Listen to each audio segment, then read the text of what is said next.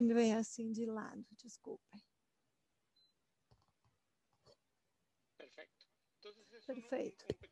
Então, é uma pequena atualização do que estamos fazendo na Google sobre a filtragem de rotas e, em geral, sobre segurança em BGP.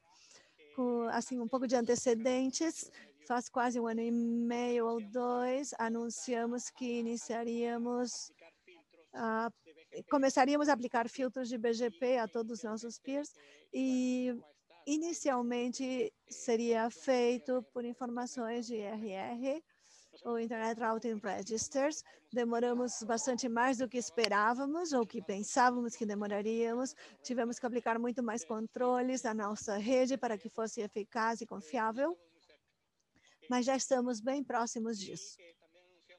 E também anunciamos que iríamos limpar nossos dados e atualizaríamos todas as nossas informações de RR e RPKI. Estamos começando, então, a pedir a nossos peers que tivessem esses dados disponíveis. Então, nós também precisávamos dar o exemplo e ter informações disponíveis então, e atualizadas. Então, onde estamos hoje?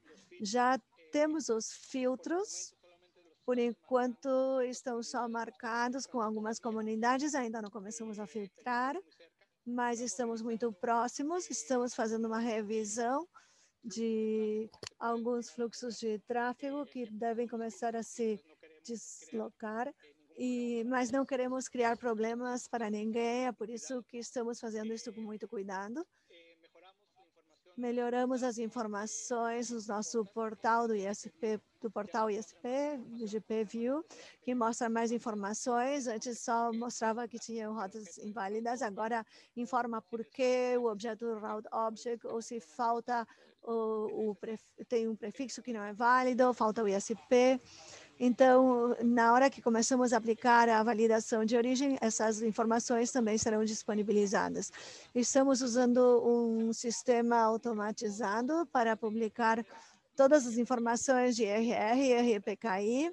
Atualmente, elas devem bater é, esses são os sistemas que empurram informações para os dois sistemas.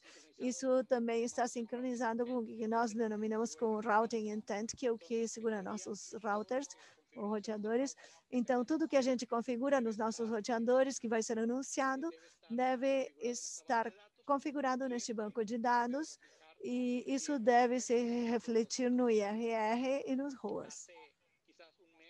Faz talvez um mês, mais ou menos, a gente publicou os ROAS de quase todo o nosso espaço, o espaço da Arinha do Hype, de em torno de 2.800 ROAS, que representa 95% dos nossos prefixos.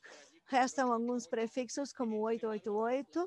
No entanto, a parte de IPv6 do DNS foi assinada, está faltando a parte de IPv4.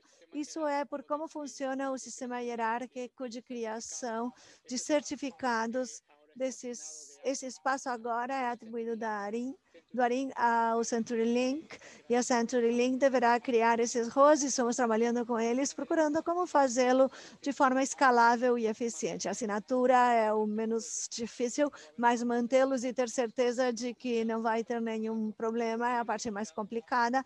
Então, estamos trabalhando com eles e esperamos nos, nas próximas semanas ou meses já tê-los assinados. E também nós assinalamos que para o final do ano, mas não quero assumir esse compromisso, porque parece o conto do, do Pedro e o Lobo, e parece que já vamos e nunca acabamos. Então, é, esperamos aplicá-lo para o final do ano, mas também trabalhamos com Manners, nos tornamos membros da Manners para operadores de rede e fazemos parte do grupo fundador do Manners para Cloud e CDNs. Então, estamos trabalhando também com a Internet Society e outros operadores e provedores para tornar mais confiável o nosso sistema de roteamento.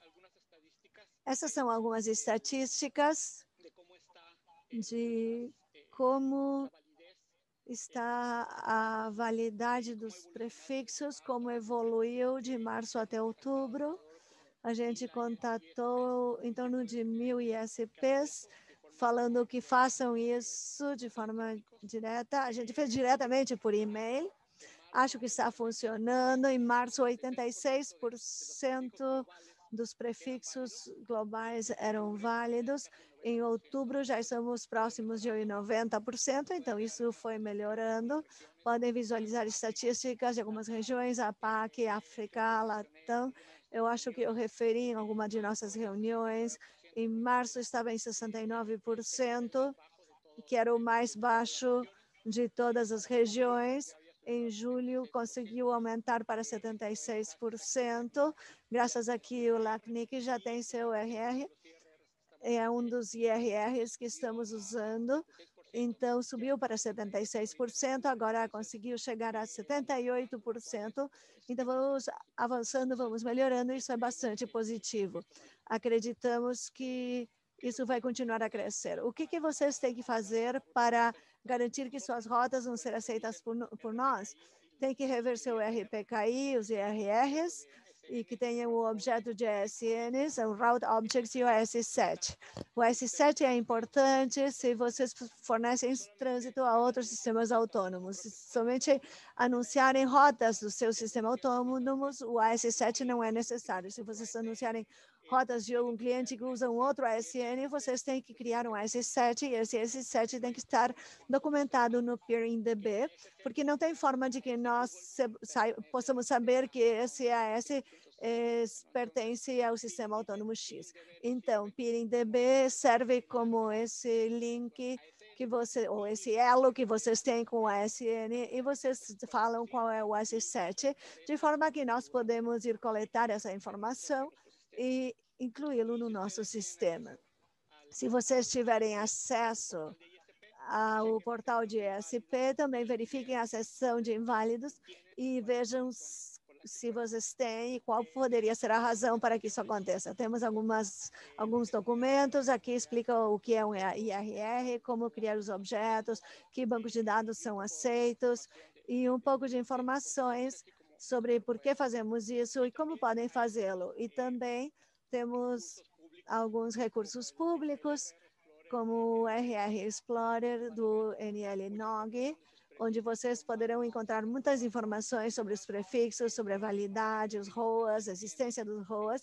O HIP também, o HIP também tem informações muito interessantes, onde podem visualizar o que está sendo anunciado de forma certa, correta ou, ou não, eu não coloquei aqui, mas também tem outros que fazem esse tipo de, que oferecem esse tipo de ferramentas, podem procurar por prefixos ou por sistemas autônomos. Aqui eu estou, meu, meu cronômetro está me falando que meu tempo acabou. Eu acho que isso, isso, isso é tudo. Minha apresentação não, não se movimenta, mas isso é o que eu tinha para apresentar. Obrigado, Arturo. Temos uma pergunta, mas que não foi colocada na parte de perguntas e respostas, respostas eh, na parte do Tomás Lins, que ele pergunta, essas percentagens são incluindo os IRRs, não apenas os ROAs, certo? Não, não inclui RPKI, só IRR. Ainda não estamos medindo RPKI, isso vamos medir depois. Por enquanto, as estatísticas que eu mostrei são apenas referidas a IRR. Muito bem. Não temos mais perguntas para Arturo. Não sei se vocês querem fazer algum comentário final. Não, apenas que verifiquem as informações.